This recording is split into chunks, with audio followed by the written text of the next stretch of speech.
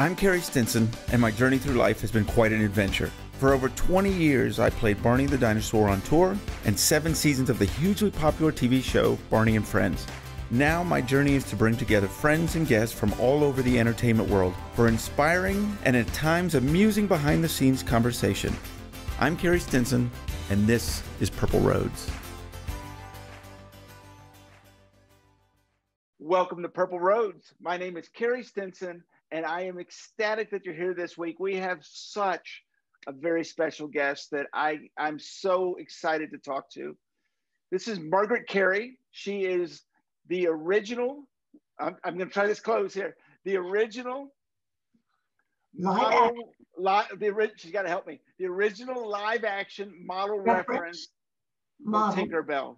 For Disney's Tinkerbell. For Disney's Tinkerbell. And here she is, Margaret Kerry. How are you? I'm peachy keen. Couldn't be better.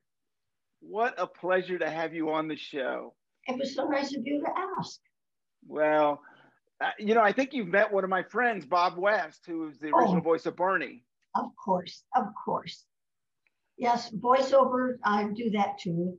I did about 600 cartoons with voiceover, had loads of fun doing that.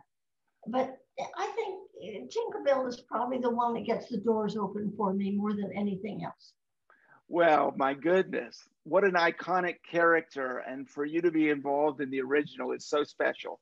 Yes, it is. It is still amazing to me how much she means to people. And I try to keep it going. I mean, uh, she's such a wonderful character. She developed over the years into this wonderful character that people just love. And so I just love people right back, and it seems to work. well, I, I want to kind of start at the beginning because we've got time to talk here. So, how did you get into show business? Well, I was adopted when I was three and a half because my mother passed away. And I was adopted by two people who were old enough to be my grandparents. They were 54 years old when they adopted me. They'd never seen a little three and a half year old in a household before. But my mother and father said, well, let's put her to work. I mean, there are people like Shirley Temple and all the other little cute little girls. Why not her? And after all, I was born May 11th, 1929, and I caused the Depression. I'm sure I did. No, no, no, I did. I did. I did. so uh, it's only right that I should go to work and I've been working all that time. I'm 92, just had my birthday in May. Happy birthday. Working, and I have five shows lined up to do. Just got back from two of them. Love that. I love that. I love that. So, what was your prof- your first professional job? It was Midsummer Night's Dream at Warner Brothers. And guess what? what? I played a fairy. I was as cute as a bug. I mean, running around here and running around there, not knowing anything that was going on. Neither did my mother. And most of the Hollywood mothers with us, there were lots of other little fairies. We didn't know what was going on. We just paid attention to what they said. And we found out that they wanted to hire our cast uh, little kids who were, say, six years old, going on 32, that knew how to keep their mouths shut and pay attention and do what they were supposed to. And and you did it. I did it. I did it, and it was it was um, the most unusual kind of childhood. Well, let me tell you something. Please I went do. on to be in 37 different major motion pictures. Nothing very big in the motion pictures. But I moved into television where I went did much better. But um, I worked on a movie called um, National Velvet. Yeah. With Elizabeth Taylor.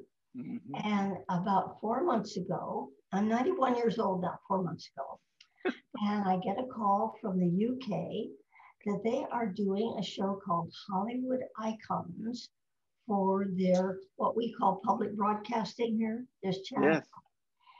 And they heard that I knew about being a child actress. And I said, whoopsie, do I know about being a child actress? I certainly do. And then I said, you know that I worked in that movie and I doubled Elizabeth on several different of the shots um, that they had coming up where you couldn't see her face, but you could see the rest of her. Oh, really? How did that go? I said, Well, you've got to remember that when you have children in a movie or on TV, it's going to cost you a lot more money because, at least at that time, and I don't think they've changed it, we could only work 20 minutes after, out of the hour, hour that we had, and we could only work three hours before the camera. So to get a double that could do the same scene and keep your actor busy in school or whatever it is, that worked. Well, they called up and they said, we decided we would like for you to be a uh, contributor. What's that? Well, we're going to send a cameraman to your place in Sarasota. And then I will be, this lady said, I will be on Zoom from the UK, from North London, and I will direct what you're saying. So I just, can, can you imagine who else would do things like that? it was just, we had a wonderful time. They found out a lot about being a child actor. I didn't like it, I didn't dislike it, is what I did. And um, when they came in and uh, when they asked me, from the director from North London asked me, Elizabeth Taylor said one time that they stole her childhood. What do you think about that? And I said, first of all, I don't think Elizabeth said that. and second of all, I said, how can you do that? When you ask, how did you like your childhood? Your question is, as compared to what? That's right. bad. And fortunately, I was talented and really, really enjoyed it. So I went on into television from then. And I did, oh, I did one big movie with Eddie Cantor, where it was If You Knew Susie, I played his daughter, mm-hmm. did a mm-hmm. big dance number because I'm a dancer. I still dance at 92. I still tap dance. Now, so what type of dance? Well, that one I danced on top of a table and jumped down and did oh. the splits and then jumped up. I don't know how they talked me into it. but they did. And at 18, I um, I uh, graduated high school. And as a matter of fact, as you know, if you're in show business, I got a call from the vice principal of a school that I never heard of before, John Marshall High School, I think it's called, because I went to a girls' school and I went to uh, studio school. Could I come over and do two tap dances at the graduation uh, proclamation time. And my dad says, sure, she can. and so that's what I did. And that's how I got my diploma. But it, six, um, 18 is very important too, because it has to do with being young in show business. At least then, I told the people over at UK that one of the things that we really always needed as a child actor, particularly a girl, but it could be a boy. And I said, I'm going to use an old fashioned word. I don't think you've ever heard of men called wolves before, mm. but that's what they were called then when they were looking at every young thing that came along and how they were going to get involved with that, how they could and we had more wolves on the MGM studio lot. I mean, I thought they all howled. So I was very protected by her, uh, my mother. And the lady asked me, the director asked me, well, it's said about Elizabeth Taylor's mother that she was really mean and tough with the studio, didn't give a darn, and so on and so forth. Well, I did it. I turned off my own clock. Oh, oh that's exciting. That's exciting. Anyway, uh, so they said she was tough and so on. And I said, listen, with all those wolves around and all those agents trying to, to step in and, and get her contract and so on and so forth, if I had been in Elizabeth's place, I would have been thrilled to have her mother there. Oh, what they didn't know that. Our mothers kept us so close that I'm sure that when Elizabeth married Nicky Hilton when she was 18, that she knew nothing about the facts of life. None of us did. Right. It was quite a time. But I was going over to, into television at that time, falling in love with it. Making motion pictures is so dull.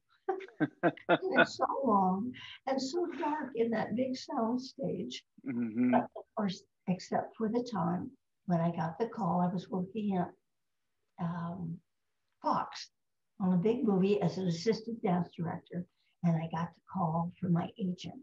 Would you like to hear about how I got cast as Tinkerbell? I absolutely would love to hear that. Well, I'm not letting you do any talking. Why don't you say something in between and then lead me up to it as only a host of a top show can do? Well, thank you very much. I, I'm curious. Did, so, what did you think when you got into TV after being in film? Did you like that experience a little bit better? I loved television. What you did was right then. It's like doing what we're doing here. There may be a little editing, but it's out there. It's Right. out there. And I had some friends in the movies that they would do a big movie and they would send it to one editor and then they would change that and then they would go back and shoot some more. And maybe a year and a half later, the movie would come out. And of course, their career depended upon people seeing them. So television, uh, I was at W6XAO. It was before it even had call letters. And it turned into KTLA, Channel 5. I had my own television show on Channel Wow. 13 called Report- Reporter. And then I was doing 172 shows for ABC Network as Wow. Charlie Ruggles' daughter on The Ruggles Show, the first family sitcom that they did. Wow. At the same time, uh, I did, uh, we were working on everything then.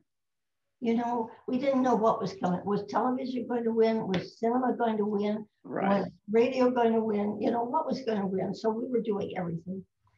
And how many networks were on at that time? Do you know? uh, yes, um, there were four, and one of them dropped out. Okay. Uh, there was NBC, CBS, there was a mutual broadcasting company, and then there was ABC, which we call the almost broadcasting company because it was so new. We cleaned out the bat guano on the stage that we worked on. Oh, wow. we didn't personally, somebody else did. But it, it was it was quite amazing and such fun, such fun. We had uh, uh, three sets on the big sound stage, and the cameras would go from one set to the next set to the next set for the different shows. And um, there was a chef, Boyardee, I think his name was Okay. close anyway, who would forget that there was live show, there were live shows going on, and he would come in singing at the top of his line an aria from some Italian opera, and this was being recorded as we were doing this very dramatic scene. It was hilarious and wonderful. I did 172 shows without a break, with and we did them twice. So, how many uh, were you recording once a week or a couple No, shows? A, we recorded, we recorded two of them once a week. Yes. Okay. We did. One for uh, the wet East Coast. okay. Yes. And then uh, one for the West Coast. I think it's just the opposite. I don't remember. I'm 92, you know, so I don't. I don't know. You're doing really well. Your memory is really good. and then I, I did a big uh, dancing show for them with uh, Tommy Noonan and Peter Peter Marshall called Let There Be Stars. And while I was doing that, uh, we finished the Ruggles show and I was over at Fox. And here's the big part. I get a call one day. We're doing a big dance number. Uh, Gloria DeHaven and June Haver and um, Dan oh dear, other, he's trying to dance, wonderful man. Anyway, we're, we're doing this big for, um, I'll Get By is the name. And I get a call from my agent. I'm about 18, 19, right around in there. Can you get off work tomorrow? Because I want to send you on a, uh, an uh, interview. It's for a three and a half inch sprite who doesn't talk. And I said, Oh, you know, Carol, um, I don't really, there, there, it's a big deal. We're getting ready to shoot it. And she said, It's a Disney. I said, I'll be there at 6 a.m. Ah, and that's the way everybody felt. They really, that I knew. That Anything to do with Disney, everyone wanted to be part of it. to work at Disney would have been. And you may, you probably know how small the uh, Disney studio lot is. Mhm. I mean, it's small as compared to any place else. So uh, that night, I put together a pantomime of a little boy, about nine years old, fixing breakfast, you know, juggling eggs and dropping them and, and trying to get away and all that sort of thing, because I knew that I had to do more than say, hi, cast me in the role. But did they give you much description? I mean, did you have not- much information going into the audition? No. not not a bit. And um, so i got there and lo and behold the man with the clipboard had my name. Showed me where to park on the lot. And where i should go in the building on the third floor. And i went up to see this man who turned out to be one of the great geniuses that i've ever known in my life his name was Marc Davis m-a-r-c davis one of the great animators and artists of Disney, one of the nine old men. And he did Cruella de Vil, he did Mr. and Mrs. Wow. He did Flower and Thumper, he did um, things for um, um, what, what's it? What's what's the one where she turns into a pumpkin turns into a character? Oh, Cinderella, right? Yes, he did Cinderella. Um, and then he quit that. And of course, he did Tinkerbell. Uh, but he quit that and switched over to designing and designed Pirates of the Caribbean, Haunted Mansion, and uh, I mean, but and the sweetest man. Just the, so I walked into his office, and I carried my little uh, a 45 player with me. You remember 45s with I do. Okay. So I walked in and I set it down, and he's like, and there, up on the wall, up on this wall, were all these sketches of this little tiny pixie. And one of them, she's looking over, and I thought, I, and of course, he wanted to sit down and talk to me, and I told him what I what I could do. So I, bless his heart, we could not get the um, the uh, 45 player to play. So he jiggled with it. He called the Uber director to come down and see me, and they jiggled with it. And he actually got down on his hands and knees to find a plug to play. You wouldn't find that in any other studio in Hollywood. I was in love with both of them, you understand. So I did that, and they said, Well, here's the scene that we want you to do. And have you seen the movie Peter Pan? Yes. Okay. Do you remember the nursery scene? Yes. where Tinkerbell comes in and she goes in all of the pockets and everything looking. for- Um, and then she stops.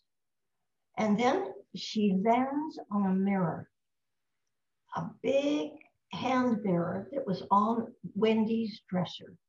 And she's looking down at herself and she sees, I played it as if she sees herself for the very first time.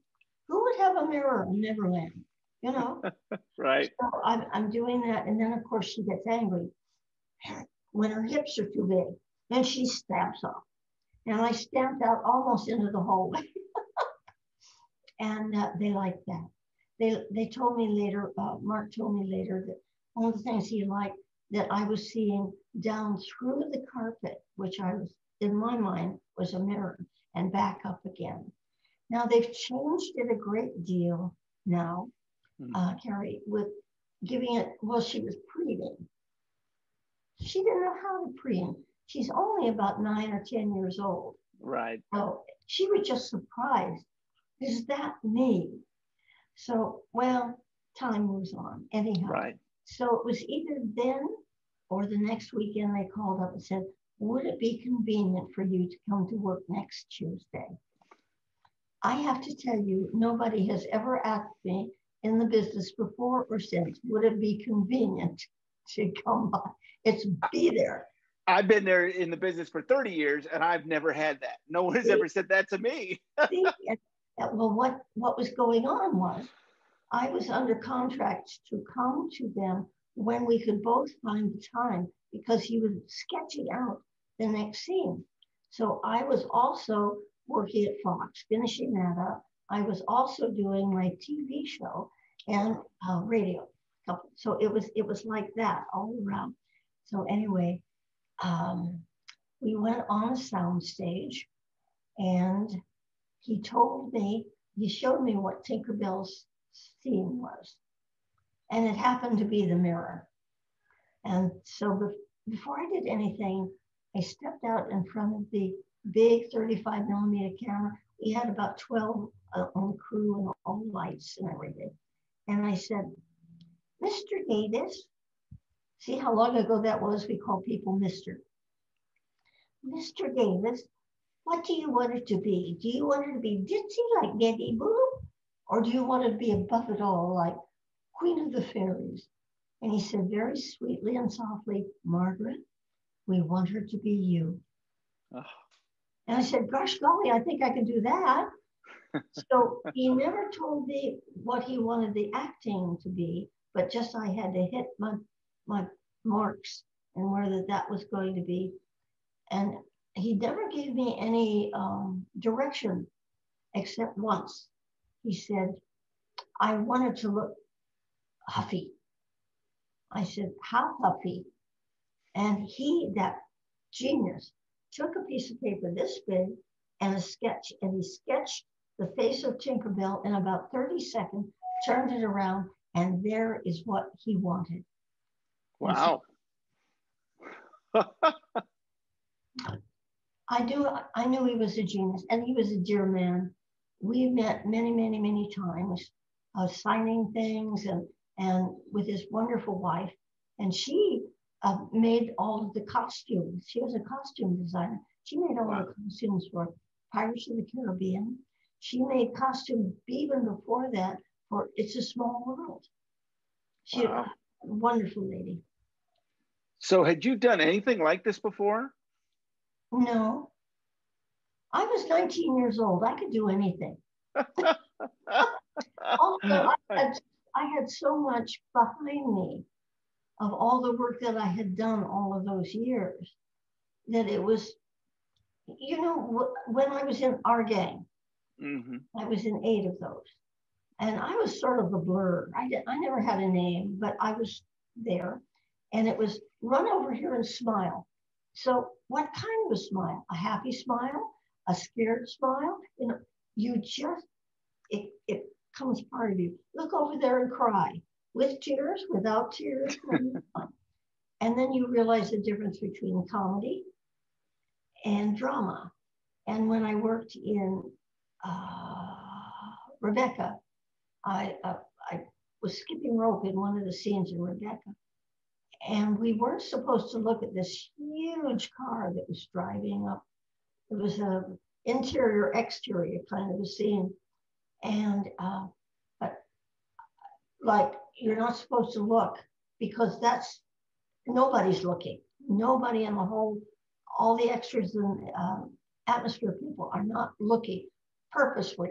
So you do it with your eyes as it goes by, even though you're jumping around. You just, it sort of becomes part of you. It still has. Now, when you were doing this, was were you acting with anyone else, or was it just no, you? I was all by myself. And what was wonderful, I didn't have to learn any lines. Now, when I when Marc asked me to be the redheaded mermaid in the lagoon, which I did, I had lines, and I worked with uh, two others, the other um, mermaids, and uh, so we had to play off of each other. I'm I'm sitting here desperately thinking, trying to think of you know, at 40, at 92, can't even remember my own age. At 92, the names come and go. And she is the great voiceover of, uh, oh, I'm getting worse at it. uh, you're doing great. Um, what is her name? She's so famous. She played the dark haired mermaid. And we both decided that day, along with Connie Hilton, I'll think of it in a minute, uh, uh, we both, we all decided, why were we fighting to get parts in front of a camera. Why aren't we just going into voiceover? And uh, oh, the people who are watching this are trying to tell me, I'm sure. trying to tell me too. Bullwinkle, and she is, who was with Bullwinkle? The, the Rocky. Rocky. She's Rocky. Oh. Uh, June Foray. Oh, for heaven's sake. The great June Foray played, was playing the dark girl. Thank you for your thoughts, everybody. I could feel that. Yes, I really could. And uh, of course, she went on to be one of the great. Uh, she played um, Mulan's grandmother in Mulan, and I would tease her unmercifully when we saw each other. We would just give each other a terrible time doing voices. And I said, June, the greatest part that you ever did was Mulan's grandmother, and you had the greatest line in the movie. She said, I did. I said, Yes. Do you remember Mulan came back and had all the medals on a horse with a sword? She was victorious and so on. And the grandmother's line in it Betty, you should have come back as a bringing us a man. And and June said, I said that. I said, yes, you did. It's my favorite. So every time I'm bringing you a man, that's what we would say to each other. It, it's been a great life. It really has. So, how long did? Because I'm so curious about all this. How long did it take to film all of your Tinkerbell parts? It went over nine months. Wow. Yes, because I came, I left. One of the funny things you might like to a little side bit. Sure. By the way, may I be may I be marketing? Of course. All of these stories are in my book, Tinkerbell Talks, which you can get at my website, tinkerbelltalks.net. Or you can get it at Amazon. I don't sign up for Amazon, but I do sign up for, my, my website. But Tinkerbell, there's a whole story about there, pictures of me meeting Walt Disney. So we're and we, we, Margaret, we will promote that as well. We'll put all your sites you. and we will promote that and get that out so people can get this wonderful book. Well, um, Walt Disney, um, I'm, I'm in the center of this of the stage uh, with Walt Disney uh, hmm. at, at the studio. Let me go back. I'm at the center of the stage and I'm working there with the camera and all the rest. And uh, one day, the big door opens, you know, the, the one that lets all the trucks in, because I have no lines to, to uh, match. Right. And, and uh, in walk all these people, and I could see the shadow of them. And let's see, let me try. You can see it, I think, down yes. there. Yes. Yeah. And Buddy Ebsen walked in first, and you couldn't miss Buddy Ebsen. and they all walked over to the wall where I was working in that sound stage. And they were planning and thinking, and they were figuring out um, how big the, the character should be with a human being. Well, it was the beginning of animatronics and the little man. And uh, when they would finish talking, Walt Disney would walk over to talk to Marc Davis and see how it was going with Tinkerbell. And the, and the cameraman was a friend of his, and he came over, and I was invited to talk with them. Mm-hmm. And I tell you, I was like a school kid. You see, I had been trained since I'm four years old that nobody ever sees the head of a studio. And if you do, you're supposed to curtsy. you're supposed to just stand in awe because the head of a studio is like God. And I'm standing there looking at the head of a studio. So we chatted just a little bit, and I'm I'm like a schoolgirl. And he leaves, very nice, and he comes. And another time it happens. So this time I'm again I'm I'm better better prepared. and the third time that it happened, suddenly I said, "Hey, wait a minute, that's Walt Disney." I was only thinking of it as the head of a studio. That's how all those things could get in your mind. So I had just spoken to, uh, I don't know, Jerry Geronimi, the Uber director, or Marc Davis, are saying that I went to school with the uh, Disney girls, Sharon and, and Diane. You know, just in conversation. And I don't know, I guess they told him because I'm standing there and Mr. Disney says to me, I understand you went to school with my daughters. I, I went almost blank. I said, yes, Sharon and Diane, they were in different classes, but yes, Monticello School for Girls. And he said, oh, I remember that place. And, and I had no comeback. And he, he finished and he, he came back and said something to me just went back. He said, I think they must have liked you or something like that. And I thought, you are a handsome man, slim, trim, and you are a gentleman. And he walked away. And the fourth time, I was pretty good at, at talking with him. So, and why was Walt Disney using Soundstage One when I was using Soundstage One? Mm-hmm. Why didn't he have his own? You know the answer? No. And he had one soundstage. Oh. that's all they had at that wow. time. So that's how I got the job. I loved wow. it. Wow. So what was it like when it came out and you got to see this, the, the amazing movie?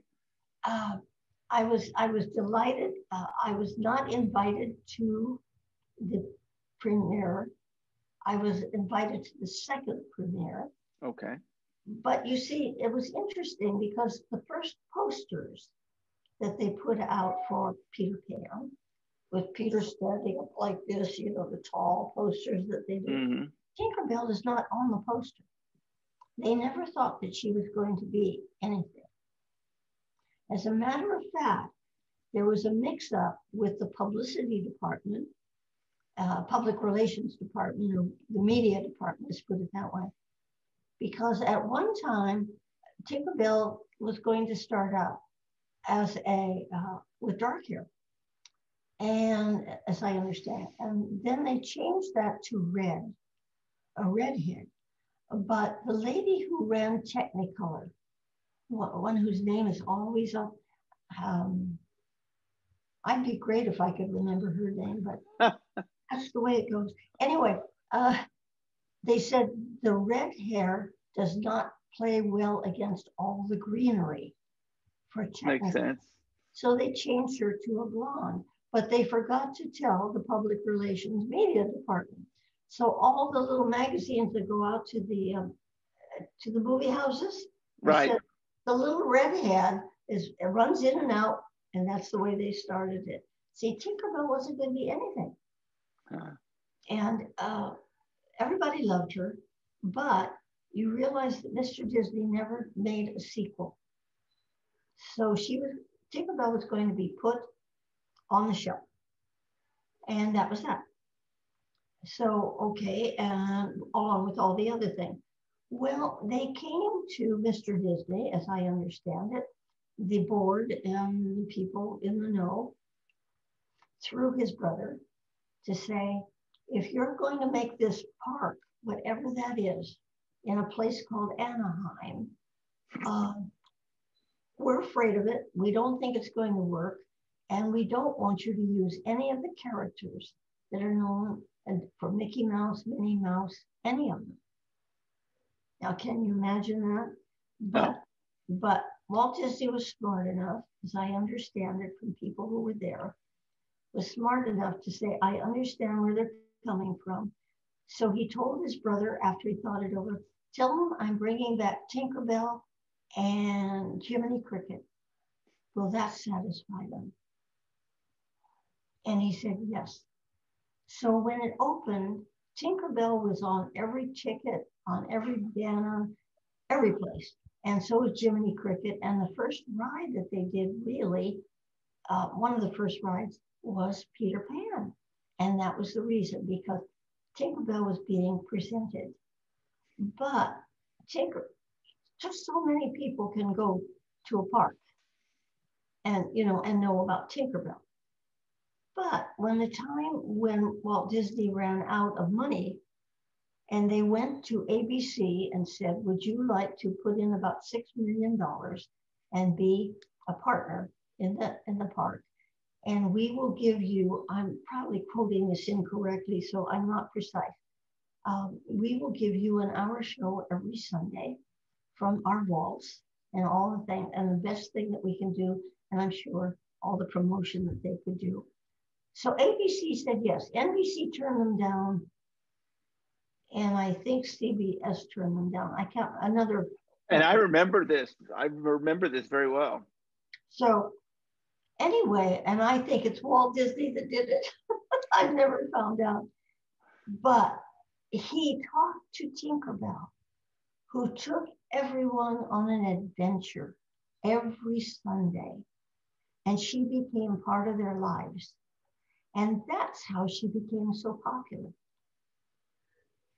And what did you think when all of a sudden this character, this movie you'd done, and all of a sudden this character is becoming really popular? And it's just continued to grow over the years. Well, not much. Um, uh, you know, I knew many, many people who love uh, fans and who knew me through the park and so on. But a thing happened that was called um, Comic Con. Yeah, yeah, yeah. And celebrity shows. And suddenly celebrity shows popped up every place. And suddenly little Tinkerbell was a celebrity at, at the shows. I have been to shows that have been rather a disappointment because of many different reasons. And there's always a line at Tinkerbell, always a line lined up for me to sign. She's amazing. In my book, there's a story about a lady who came to me at one of the shows and she was shaking, she was quivering. I said, what, what is the, she said, I never thought I could thank somebody who saved my life. And I'm thinking, oh, hmm, we got a live one here or something, you know, I'm looking around. Right. But she, but she said, no. She said, I weighed almost 300 pounds. I had to have both knees replaced. And of course, I'm looking at this wonderful woman who's standing here 30, I'd say 35, 38 years old, with this wonderful short bob, curls, and dark hair. She looked adorable and trim as could be. So I said, oh, well, that's wonderful. She said, What I did was I started to get so depressed that all I could think was horrible thoughts. And I thought, Who thinks happy thoughts? Tinkerbell. So she had Tinkerbell tattooed on her leg. And every time that she thought an unhappy thought, she'd look, No, no, no, happy thoughts. And I'm still thinking, you know, I'm, I'm listening. Well, her 12 year old daughter was there with her. And she said, that's exactly what happened. And this lady who's in the book, you'll see the picture of the tattoo, as a matter of fact, is one of three, no, uh, one of four people, women particularly, have come up and told me that Tinkerbell saved their lives.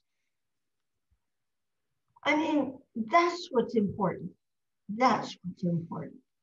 And um, and I get invited every place I've been to London, I've been to Toronto, I've been to New York, I've been to about seven different states. I have five more shows to do, one of which is in Michigan. I've never been there for her. Uh, that's coming in November. It's a wonderful place. It is. It uh, is. I was just there actually in Michigan. Oh. We have family up there. So now I'm going to be quiet and you're going to talk for a little while well, this I love hearing this, and I love hearing what you're just saying because, you know, my I played uh, the role of Barney for 22 years, yeah. and I got that opportunity as well to yes. to touch people's lives. Yes, and it's such a gift, and and you don't realize it a lot of times. You're just you're part of this character, and you love it, and you you yes. love people, and next thing you know, you realize that you're touching people's lives. It's really something very special all the stories, the individual stories we could tell. I'll yes. tell you the individual story. Okay. I was going to shut up, but I didn't. no, I love hearing your stories. Um, I was in um, North Carolina. Okay. We did a show up there, and my husband, my brand new husband, and I were had gotten off a boat that took us around and showed us the bay up there. at Hilton Head. And uh, on board the, the boat, my husband found some people who's, who had relatives who were in the same outfit in World War II as he was. So they got to talking about that. Over here on this side was this wonderful family, grandparents, who had two little grandkids and this little grandson who was having a miserable day. He wouldn't look at anybody. He wouldn't he turned his back. He didn't want to hear anybody. He didn't want to look at the water. He just was having a terrible day. Well, we got up finally halfway through the time and we, we went to the uh, bow of the boat and we sat down and talked to other people. When we got off the boat, um, my husband has me by the hand and we're walking towards our car. And I hear this little voice say, Tinkerbell, Tinkerbell. And I turn around, there he is. I think his name is Ewan. And he was about this big around and about 11 years old, 10 years old. He said, Can I give Tinkerbell a hug? like, no, of course you can. And we stood there and hugged each other. I said, You've had a rough day, haven't you? And he goes, Oh. And I said, It's going to get better now, right? You've hugged Tinkerbell, right? Oh. like this. Uh, one more, we gave each other a hug, and off he went. Now, that is magic. It is. That is magic. Because it is. Gary, Carey, I am too tall to be Tinkerbell. right? Yeah. She, she, is when when they describe her, she's um, she's a, a fairy. Um, uh, she is no bigger than your hand and still growing. She is uh, dressed in a skeletal leaf cut low and square, which shows her figure to best advantage. and that's Tinkerbell. And that's what Marc Davis took and made into this precious, precious little thing. It's amazing. It's amazing. I, I want to talk here while we got a little time about voiceover because you continue to go. Oh, oh, you know Hal Smith? Have you worked with Hal Smith by any chance? He was the drunk Otis on the Andy Griffith Show. I did the Andy Griffith Show. I'm going up to Mayberry in September oh. to Mayberry Days up in Mount Airy. Oh. We have about 6,000 people who come, and we have um, um, actors who are dressed. They're wonderful. Tribute actors, I finally get the right word. And I tap dance on stage. And this that's where I met my husband, my new husband, face to face two years ago up at Mount Airy. Wow. And, uh, and he loves to hear my dialects. Uh, what which ones do you do particularly? Uh, which voices? Mm-hmm. No, so I don't know if you I don't do the voice. I was actually in the costume. Yes, I know. Yeah, so so I didn't do the. I've never done oh, voices. Yeah, no, no. So oh. I was, I was the one dancing and jumping and doing oh. all of that. I oh, I thought that. I thought you did the voice. I it's been a long time since I've no. seen the flip of that. No, because we were having because it was so physical. There had to be two people, so there was someone doing the voice. So I was kind of like you were doing with Tinkerbell. I was doing all the movements and I did it on tour. I did the TV show and traveled the world. Well, it's it's there's there's just nothing like it entertaining. If that's in your blood, if that's what you're doing, and you're doing something that you love. I, you know, I could have been the actress who had her throat slit in Psycho. Really? I don't think that would have been fun at all. No. being told for that. So I just, I am so thankful that it's it's Tinkerbell and and look at all the things, all the things that people still see: the Little Rascal, the Lone Ranger, um, the uh, Three Stooges, um, the um, what I've left left out one, uh, and and Tinkerbell, and then the movies that you see, and they're all healthy and delightful and fun. And everybody and everybody keeps seeing them because they turn on YouTube and right, right. Well, let's let's do all those really quickly. What was it like, Little Rascals? Say again. Little Rascals. What was it like being on that? Oh, the Little Rascals. I was the did I get that? What what what is that? It's a camera. Oh, that what that is. And my mother. Oh, my mother was the one she mm, she would do everything as if I were deaf and uh, dumb, as she would stand there and go.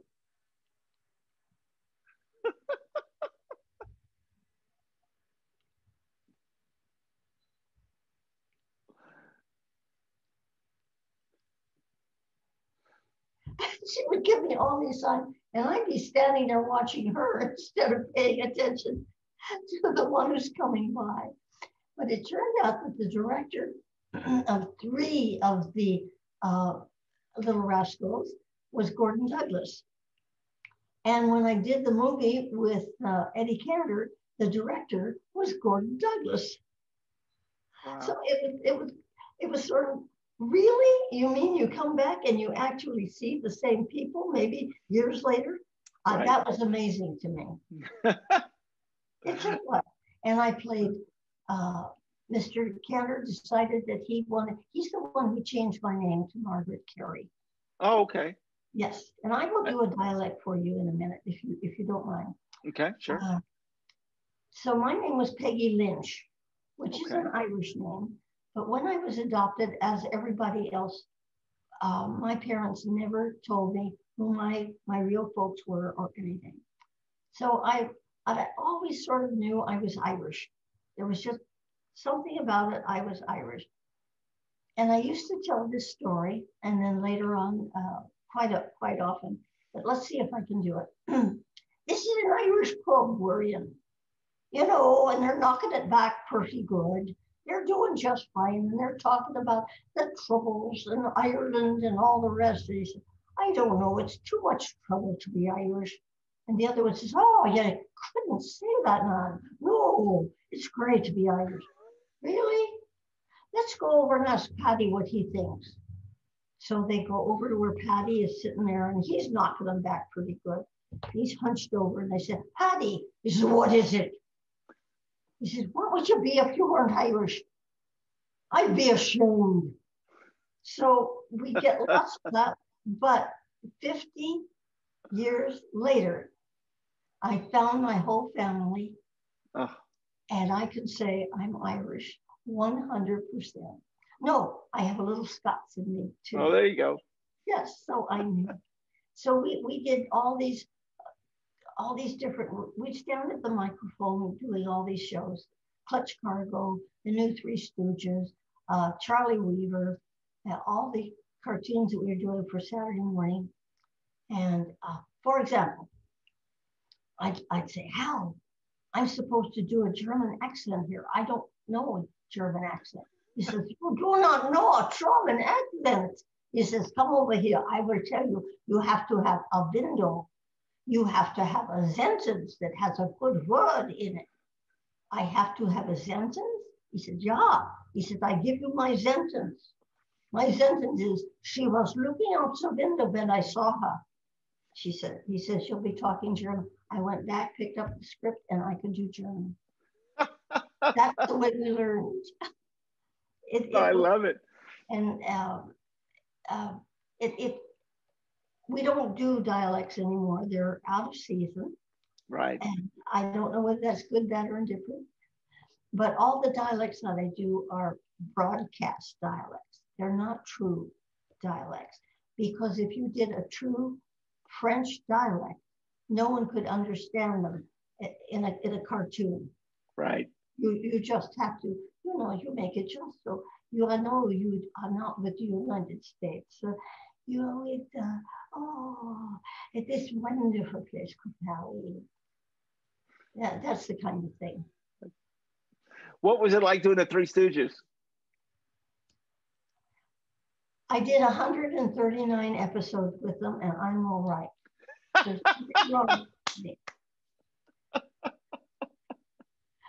they were adorable. They were just adorable.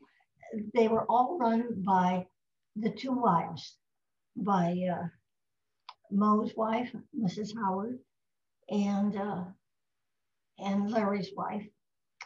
And they these two ladies were wonderful. They would sit over, they would have their chairs next to each other, and they would start talking to each other very low, as if they hadn't seen each other for five years. And if they thought it was taking too long, you would hear one of them say, Moe, Moe, Moe, darling, it's getting late. They do the scene like that and get it done. It was it was just great fun. I have another voice that goes with it because I did all the all the girls' voices in the uh, that. I did the witch and all the other stuff. But we were in recording, Okay. and Larry has a speech impediment. It's not huge, but it's it's sort of mushy when he talks. I'm Okay. overdoing it now a little bit so you can hear it. Well, he had a line as we were recording that said, Moe, do you see the ships that are coming to save us? And Moe said, We can't understand you, Larry. Would you say it so we can understand what you're saying? Oh, I'm sorry, Moe. Okay, roll them. Okay. Moe, do you see the ships that are coming to save us? Is that a lot better? He couldn't hear the difference, and yet he could do it. And he, he many of these things, uh, Larry was always sort of, uh huh, uh huh. And the other thing was, if Moe Howard combed his hair back, we could go to lunch with him, and people didn't recognize him. Huh. Yeah. It, it was it was an interesting time. It really, really was. Did you have a favorite project? I don't know how you could because you did so many iconic things. I was going to say. project is my favorite one. I'm writing a book about what happened to me, about somebody finding me after 70 years and getting married. Congratulations. That's amazing. Thank you. Yes, it's an amazing story. Do we have time to tell it? We do. Okay, if I may. Oh, please. Uh, I have been in Southern California for 90 years. And on my 90th birthday, I knew I was leaving California. And my friends would say, Well, where are you going? I said, I have no idea. I just know I'm leaving. It will happen. The door will open. So, about two weeks after my birthday in May, about or three weeks, something like that, in June, I get an email that says, Would you like to get in touch with your friend of 70 years ago? His name is Robert Bokey. I remembered Boki. I remembered him so well. We dated all that time where I was starting to do Tinkerbell and the other things that I was doing. And we dated, I would say, maybe eight, ten times. So I said it back and said, Of course, I, w- I would love to.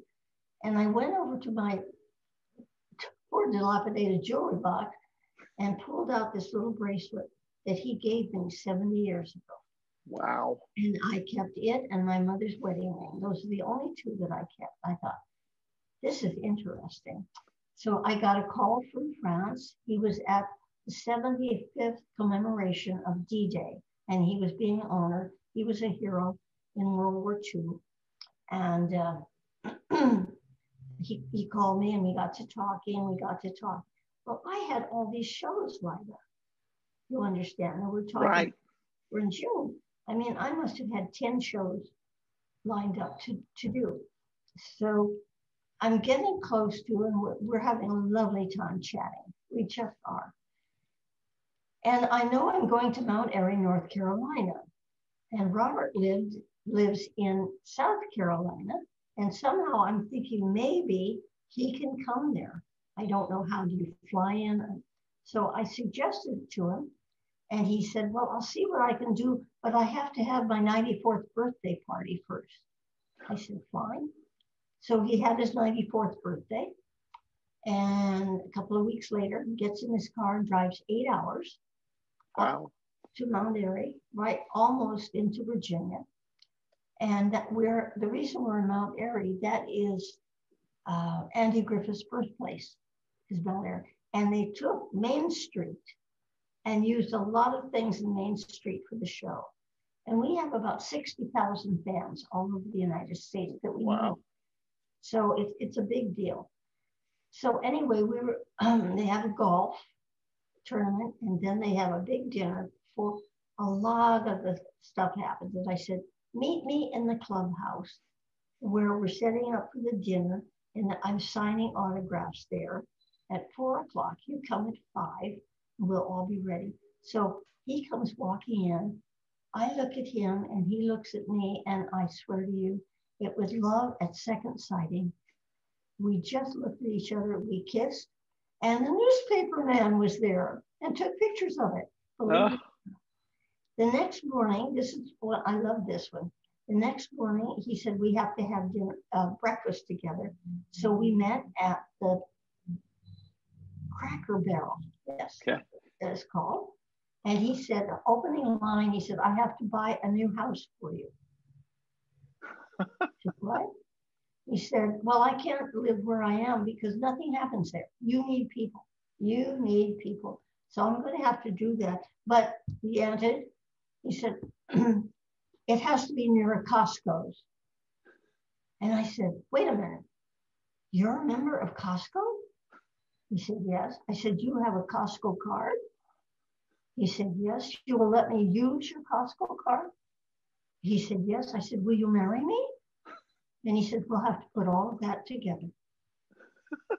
so, so he went back home and started looking for a house.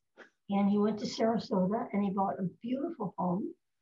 And uh, then I was com- completing all of my shows, taking no more shows in. and the Disneyana Fan Club, which is huge, was was putting on one of their their, their famous uh, uh, dinners. And six months before, they had asked me to be the speaker. And I had said yes. So that was when I knew about that I had to be there. Well, I thought, you get married and they, somebody else is throwing you a party. How good can that be? So I figured it out. And we could get married on St. Valentine's Day at the Little Brown Church in the Valley in Studio City. And I figured there's going to be about 10 of us. Ended up there with 41. Disney opened up their gates to all of us. And we went all over it. They showed us everything. And then the next day we got married. And then the next day we went to the big party at the smokehouse across the street from Warner Brothers. And then the next day at Walt's Barn, which is a beautiful place in Griffith Park, right next to the live steamers. And we had 400 people there. And so many producers I knew came. It was it was wonderful. Um, and they met they met Robert, and people came and we signed and so on. And the next day he flew me off to Sarasota. I drove up and to the house at nine o'clock at night. I took a look at it. It's beautiful. Walked in, and can you believe it was completely decorated? All the furniture was there. Everything was there. And then he said, I've got to make you dinner. He's a cook. he, and he is so brilliant. And then the book and, and the things, his stories are, some of them are blood curdling of what he had to do in the war. And, but mm-hmm. that, wonderful stories. So we decided that the book is going to be called Love at Second Sighting. I love it. I love it. What a wonderful story. It is, it is, it is. Only God. I really believe. I mean, oh, I forgot to tell you how he found me. I forgot. Okay. So he's going on tour with all these people before he goes to uh, Omaha Beach, and they get on a ship, but they have to fly into Amsterdam.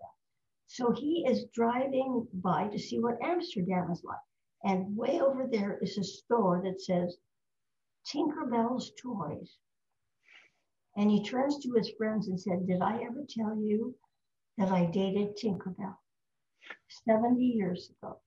And they said, Let's find her. Wow. They found my website. They found, you know, all the things about me. And he said, She won't remember me. I tell you. Beautiful story. It's your turn to talk. No, I, I tell you, this has just been such a pleasure, Margaret. Oh, see this pin? I hope. Yes. Okay. He bought that for my birthday. oh my gosh. Yeah. Boy, you have had uh, you've had a blessed life, and I, you've touched so many people's lives. Yes, it, it's just it's wonderful, and I thank God every single day. I really do. It's just amazing. Uh, the wonderful characters that Disney has all over the place. I have a dear friend who just did a new painting uh, um, commission of Tinkerbell. Uh. Not for me, but for somebody else. And he was telling me the commissions that he gets, and he there are many of them. He's about two years uh, behind in his commission. The two that he that he gets requests for Mickey Mouse and Tinkerbell. I mean, that's amazing after 69 years. It is amazing. Yes. Well, it's an well, iconic character. That is Marc Davis. He's the one who imbued her with this absolutely incredible, delightful. Well, you love her. I call her beguiling. You love her if she's bad. You see, you love her if she's good. well, it has just been a pleasure talking to you, Margaret. And to you. And you're more more listening to me than, than talking with me. I just got going. No, you have so many beautiful, wonderful stories. I was so excited to talk to you and to hear all these great stories. Well, I'm delighted to do it, and I love to tell them because they're very, very special. And I think Disney is very special. And I, th- I know Tinkerbell is. So well, and I know you are too. I can't thank you enough for being on the show. So here's uh, faith and trust, and here's a whole bunch of pixie dust. Bye. Thank you so much for watching Purple Roads. Remember to keep your eyes, ears, and your heart open, and you find your purple road. We'll see you next week.